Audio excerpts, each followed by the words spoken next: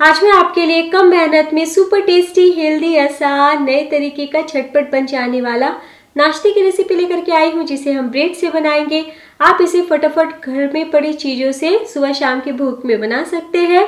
तो बच्चों को ये नाश्ता बहुत पसंद आएगा और बड़ों को भी भाएगा। तो इस नए तरीके के ब्रेड टोस्ट को ज़रूर ट्राई करें। चलिए देखें कैसे बनाते हैं। इस नाश्ते को बनाने के लिए मैंने लिया है आधा कप बेसन। ग्राम में देखें तो 70 ग्राम बेसन। अब इसमें डालिए वन फोर्थ कप, यानी चार चम्मच मैदा या फिर सूजी। यहाँ पे मैं सूजी का इस्तेमाल कर रही हूँ। चार चम्मच, दो चम्मच दही।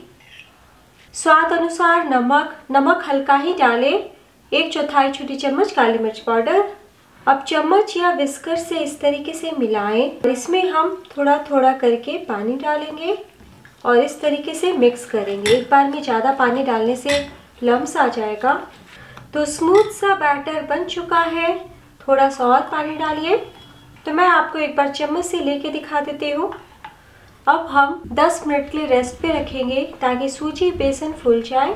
तो 10 मिनट हो चुका है इस। अब यहाँ पे मैंने थोड़ी सी सब्ज़ी का इस्तेमाल किया है। आधा गाजर कद्दूकस किया हुआ, यानी एक टेबल स्पून एक टेबल स्पून बारीक कटी धनिया पत्ती एक छोटा कटा हुआ प्याज, आधा टमाटर टमाटर के बीज निकाल के ही चॉप करें और एक टेबल स्पून बारीक कटी शिमला मिर्च और एक हरी कटी मिर्च। एक चौथाई छोटी चम्मच चिली फ्लेक। अगर आप बच्चों के लिए बना रहे हैं तो मिर्च ना डालें, अच्छे से मिला लें।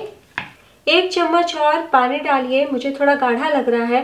टोटल मैंने आधा कप पानी का इस्तेमाल किया है, यानी 120 ml पानी। अब मैं आपको एक बार गिरा के दिखा देती हूँ।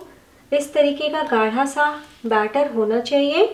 नेक्स्ट इस नाश्ते को बनाने के लिए मैंने लिया है छः पीस ब्राउन ब्रेड आप मल्टीग्रेन ब्रेड या वाइट ब्रेड कुछ भी इस्तेमाल कर सकते हैं।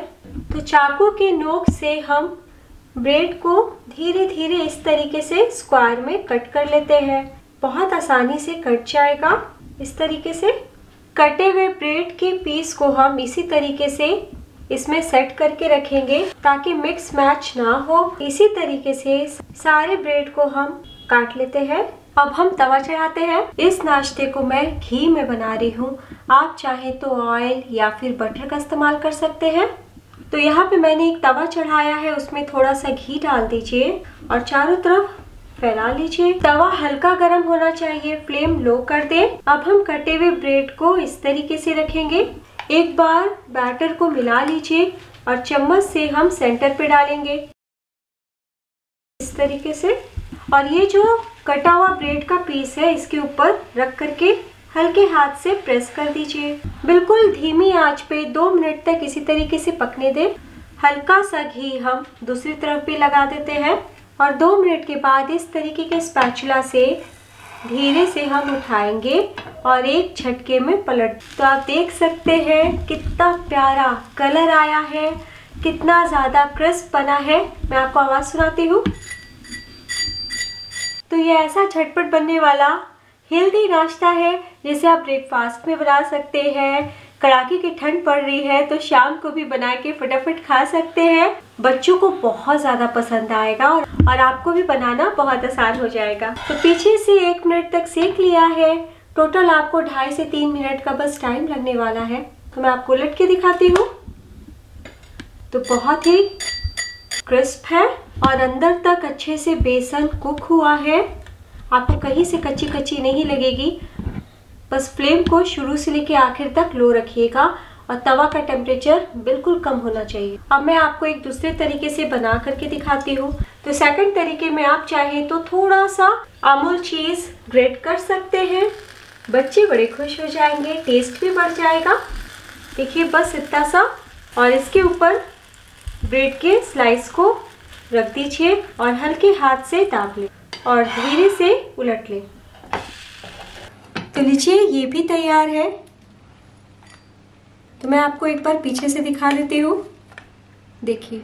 लीजिए दोस्तों, तैयार है, बहुत ही ज़्यादा टेस्टी नए तरीके का ब्रेड टोस्ट आप ज़रूर बनाएँ और आपने देखा इसे बनाना कितना आसान है। तो मैंने बस तीन टोस्ट बनाया है। इतनी क्वांटिटी में आपके सात से आठ टोस्ट बन जाएँगे। तो मैं आपको काट के दिखाती हूँ।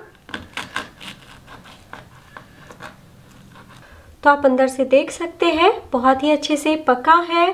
तो मैंने इस तरीके से सर्व किया है, आप टमाटो केचप के साथ खा सकते हैं। तो आपको कैसा लगा?